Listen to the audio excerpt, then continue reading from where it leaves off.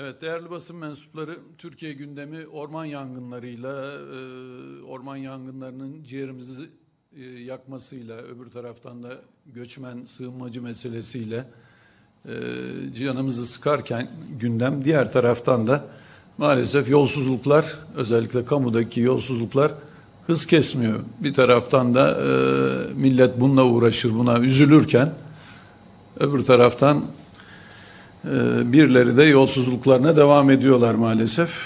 Konu ne? E, çok önemli bir konu. TMSF bünyesinde biliyorsunuz 800'e yakın şirket var.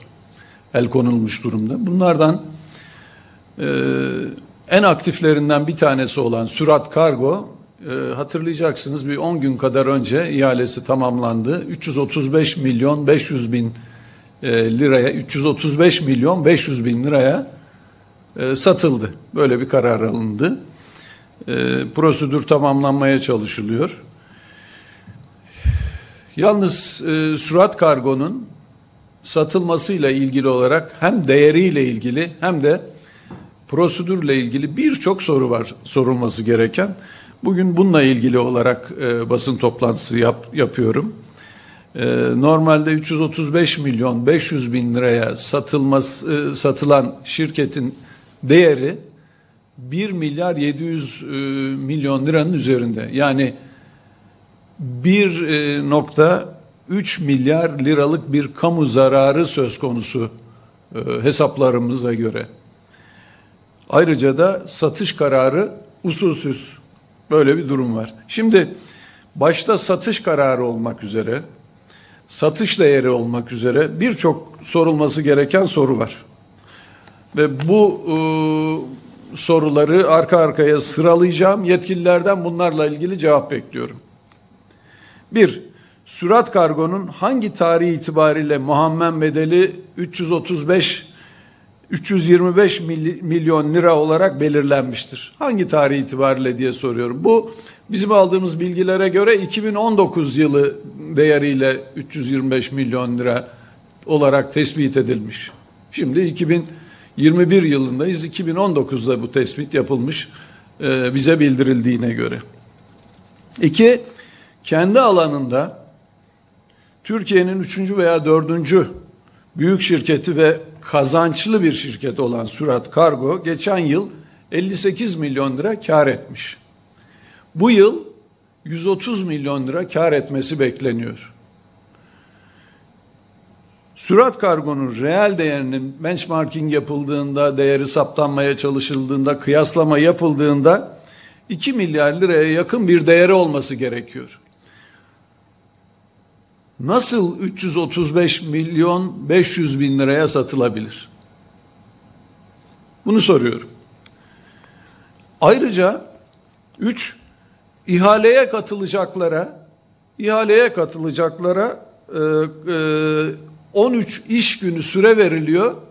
13 iş günü süre içerisinde şirketle ilgili bütün incelemelerinizi, değer tespitinizi yapın deniyor. 13 iş günü Bakın 28 Haziran 2021 tarihinde artırma, eksiltme ve e, ihale ilanları arasında sürat kargo ile ilgili resmi gazetede ilana çıkılıyor. 29 Temmuz'da e, ihale gerçekleşiyor. Arada bayram tatili vesaire var. Onları çıkardığınızda 13 iş günü yapıyor. Ayrıca sürat kargo ile aynı tarihte e, resmi gazetede ihale ilanı yayınlanan o, değeri de 15 milyon 800 bin lira olan Nurkay Makina adlı bir firma ki 20 kat sürat kargodan küçük ona daha fazla bir süre veriliyor e, ihale e, çıkış tarihi aynı olmakla beraber. Onlara 3 Ağustos'a kadar e, ihale süresi veriliyor. Çok daha 20 kat büyük bir şirkete 13 iş günü daha küçük bir şirkete çok daha fazla iş günü. Bunun sebebinin açıklanması lazım. Şimdi TMSF bir kamu kuruluşu. Kamu kuruluşu demek öncelikle güven, hukuk, adalet kurumu demektir. Öncelikle vatandaşına güven verecek, adaletli hareket edecek, hukuka göre hareket edecek. Yaptığı işlerin kanuna uygun olması gerekecek. TMSF'nin bağlı olduğu bir e, kanun var. Kanunlar manzumesi var. Bir tanesi 6758 sayılı kanunun 19. maddesinin uygulanmasına ilişkin usul ve esaslar tebliğinin 7. maddesi var. Bu tebliğin tam adı da biraz önce okuduğum şekilde. Buna göre diyor ki ilgili bakanın bir mali e, oluşum e, raporu hazırlanması lazım. İlgili bakanın bu raporu onaylaması lazım diyor.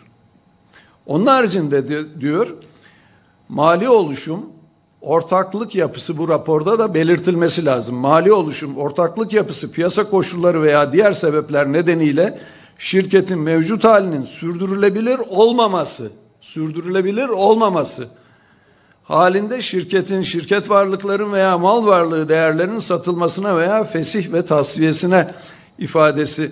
Yani keyfine göre TMSF şirket satamayacak.